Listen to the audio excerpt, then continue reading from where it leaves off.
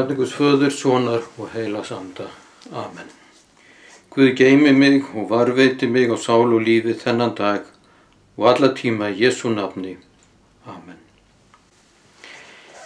Ég les dæmisu Jésúns salmanin í 13. kapla Mattius og Guðspjáls. Það er fjallað um bóðun orðsins, það er þriðji þáttur eftirfylgdarinnar. Sama dag gekk Jésús að heiman og settist við vatnið. Svo mikill mannfjöldi sapnaðist að honum að hann var að stíga í bát og setja þar.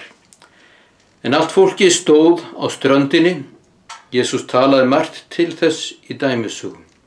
Hann sagði, Sámaður gekk út að sá og þá er hann sáði fjellsumt hjá göttunni og fugglar komu og áttu það upp. Sumt fjall í grítajörð þar sem var lítill jarðvegur og það rann skjótt upp því það hafði ekki djúpa jörð. Þegar sól hækkaði vissnaði það og sögum þess að það hafði ekki rótfestu skrælnaði það. Sumt fjall meðal þyrna og þyrnarnir uksu upp og kefðu það. En sumt fjall í góða jörð og bar ávöxt. Sumt hundrafaldan, sumt sextufaldan og sumt þrítugfaldan. Hver sem eiru hefir, hann heyri. Í þriðju ræðu Jésu í Guðspjalli Mattiusar eru nokkrar dæmisúr sem hann útskýri svo fyrir lærisveinum sínum. Sáðkornið er Guðs orð, segir Jésús. Hann er að tala um bóðun Guðs orðs. Eins og hann hafi sendt postulunum með erindi að flytja í stífkar hann hér skilning þeirra á bóðuninni með þessum dæmisugum og útskýringum. Van Gogh, hollenski listamæðurinn, málaði tvær myndir á sáðmanni í það minsta. Morgun og kvöldmynd sínist mér. Fáir vita að hann var prétikar um tíma. Kanski gekk hann af göflunum þess vegna þegar hann kynntist neyð námuverka fólksins og málaði myndina af kartöblufólkinu í framhald af því.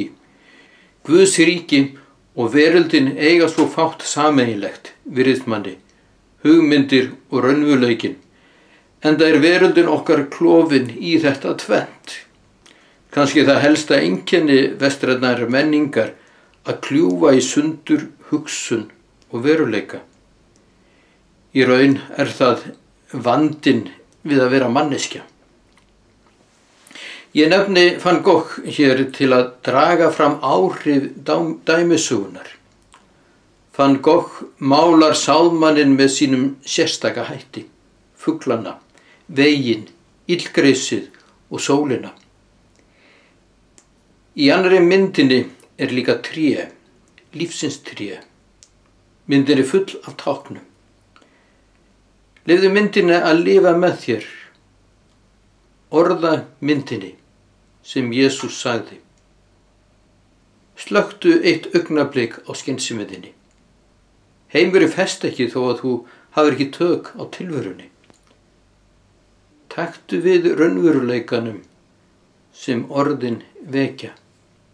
Það er líf þitt og mitt í einfaldri samt margslunginu mynd eins og líf okkar er stundum sundurleitt. Í þessari mynd dregur Jésús fram það sem er mest umvert að sámaðurinn kemur og sáir í góða jörð og orðið ber ávöxt í hjartanu, veku trúar tröst og að tröstinu vex kærleikurinn. Þá verður sólinn lífsafl en ekki tortímingarafl. Lefðu þér að hugsa um Guð í dæmisugni eins og fann Gokk gerði í listaverkum sínum. Talandi bæn í listaverki. Við skulum byggja saman. Guð gerðu mig hljóðan, hljóðan fyrir þér. Heyra látt mig rött þína, byrstu aftur mér. Kom þú í sólinni sáðumadurinn kær, sáðkornið í moldinni lífsaflið þitt fær. Gróskan að vorinu vex svo upp til þín, viður lífsins út breyðir í greinarnar og skín. Guð, lífið er ást þín, umhyggju ég hlít, ástarfaðir góður, þinnar náðar nýt. Amen. Fadir vor, þú sem ert á himnum, helgist þitt nafn, tilkomið þitt ríki, verði þinn vilji svo á jörðu sem á himni. Gef oss í dag úr daglegt brauð og fyrir gef oss voru skuldir, svo sem við og fyrirgefum vorum skuldinautum. Egi leið þú oss í frisni, heldur frelsa oss frá íllu, því að þitt er ríkið, mátturinn og dýrðinn að eilifu. Amen.